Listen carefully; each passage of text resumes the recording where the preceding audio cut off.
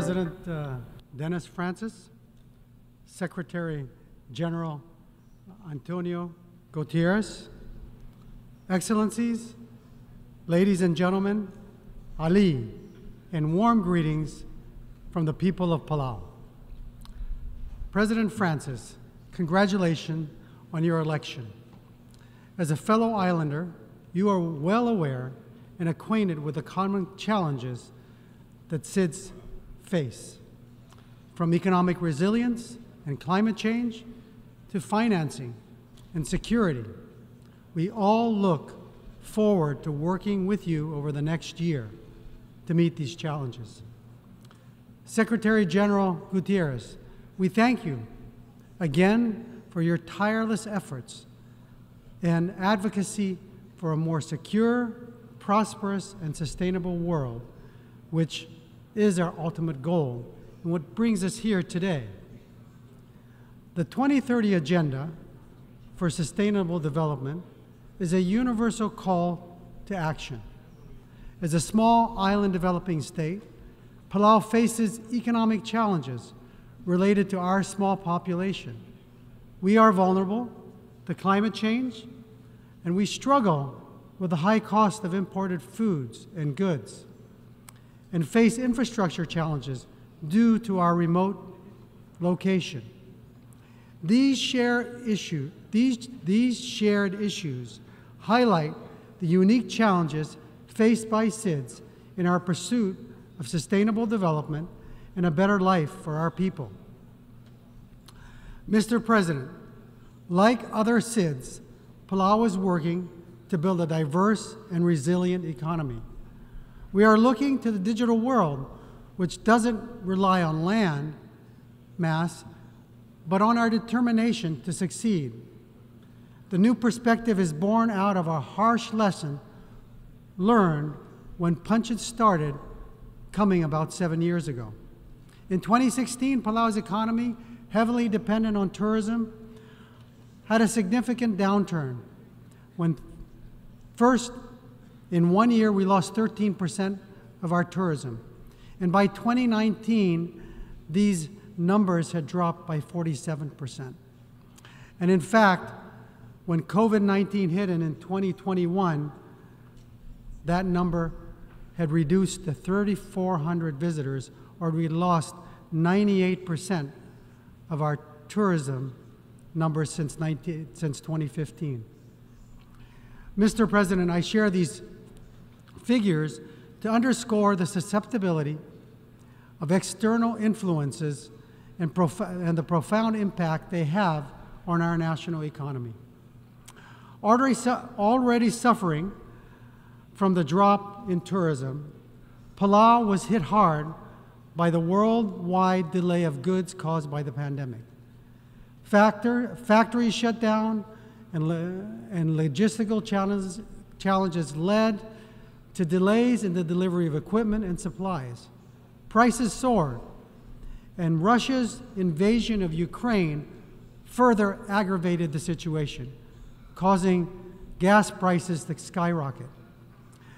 The economic downturn experienced by Palau underscores the interconnectedness of our global community. If tourism challenges and COVID 19 were the one two punch, the inflated cost of goods could have very well knocked us out. Luckily, we had the help and support of partners. The invasion of Ukraine by Russia, although geographically distant, uh, had a ripple effect that led to high inflation and prices in Palau. This situation raises the importance of security and how destabilizing conflict can be to world order.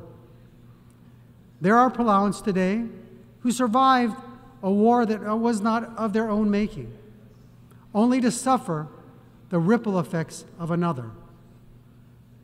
Current events serve as a stark reminder of the urgent need for peace and stability worldwide. We unequivocally condemn Russia's invasion of Ukraine and call for an immediate cessation of hostilities. Similarly, we urge the United Nations and all parties involved in the Taiwan Straits to exercise restraint and seek a peaceful resolution to reduce tensions, the well being and prosperity of nations and their economies are intrinsically linked to global peace and stability. For the last two years, we have been striving to build a resilient economy amidst external pressure. A significant challenge has been outmigration. Since 1994, when we gained our independence, nearly half our population has left in seek, seeking new opportunities outside and beyond our shores. The brain, drain has not only reduced local capacity, but has hindered growth.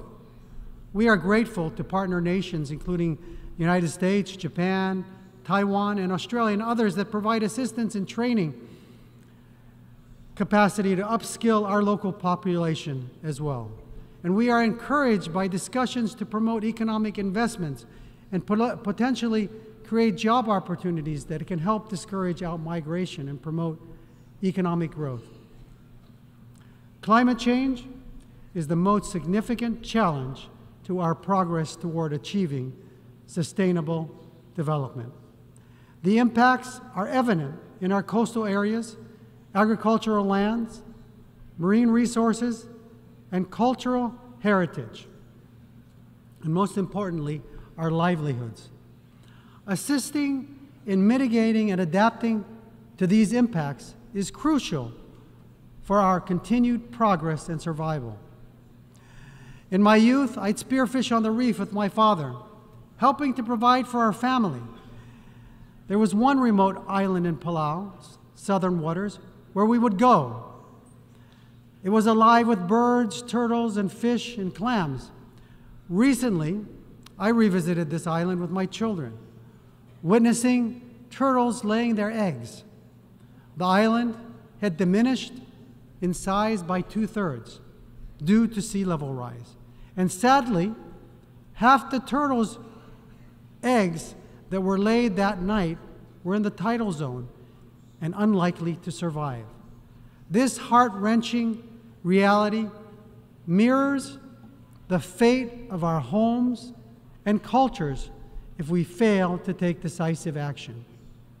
We urgently call on the G20 nations, responsible for 80% of global carbon emissions, to uphold their commitments to the Paris Agreement and limit warming to 1.5 degrees.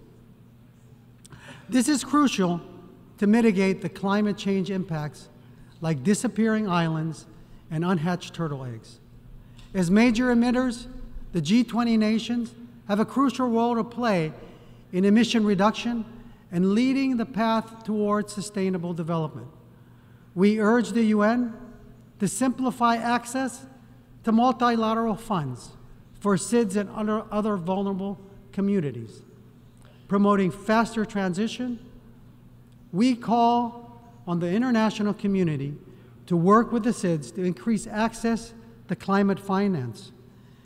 And we believe it's time that we change the metrics we use to determine how we access these funds by using a better index, a multi vulnerability index, to determine how we help.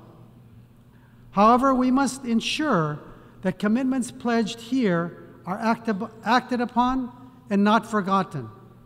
We have a saying in Palau that goes, Ngora terbesel adao. Let's not be like the foam riding on the waves of the ocean drifting without settling.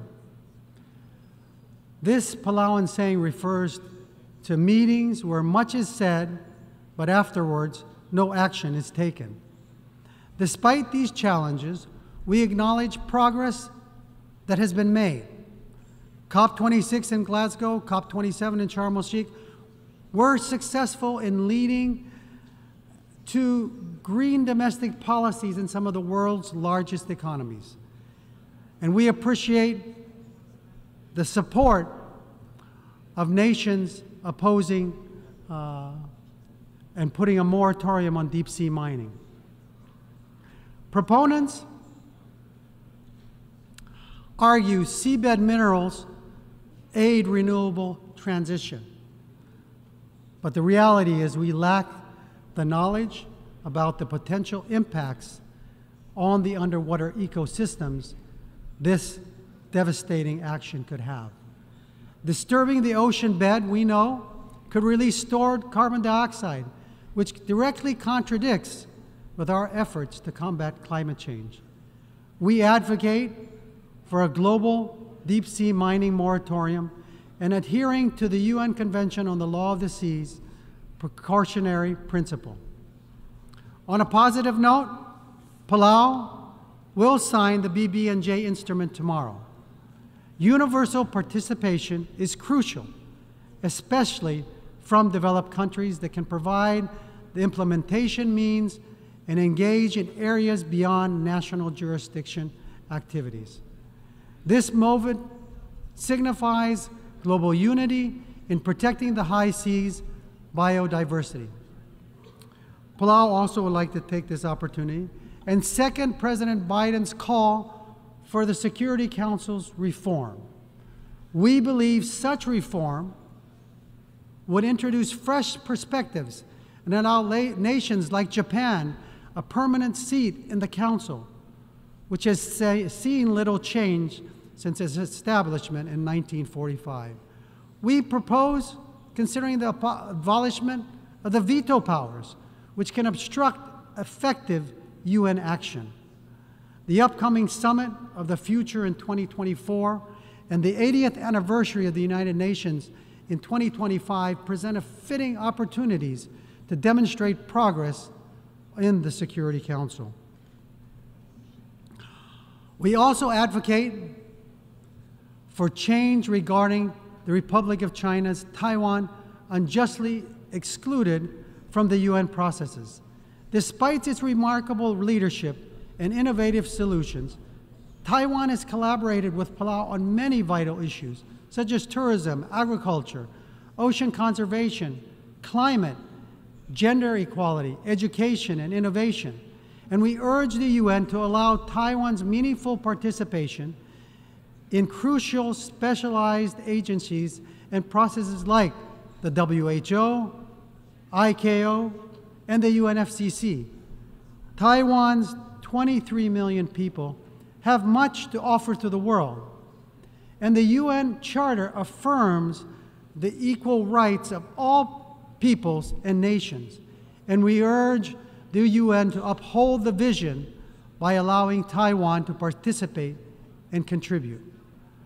Our world is under siege from war and climate change and threats that undermine sustainable de development and have driven uh, many into poverty.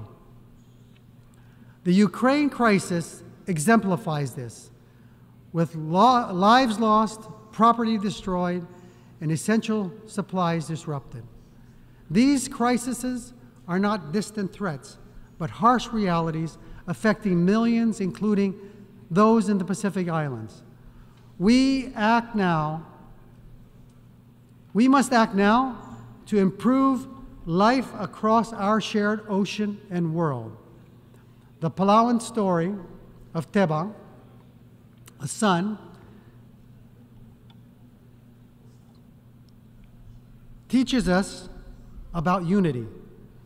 Tebang and his friends went to the forest to fell a large tree to be carved into a canoe. Unfortunately, the log ended up in a taro swamp.